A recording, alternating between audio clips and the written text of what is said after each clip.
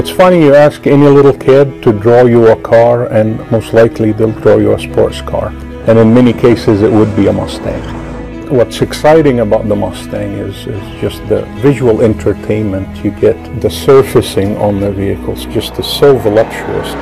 As a designer slash artist, I've drawn Mustangs on paper with a pen. I've painted it in acrylic, oil paintings. For design, we use markers. I like colors. I like positive colors.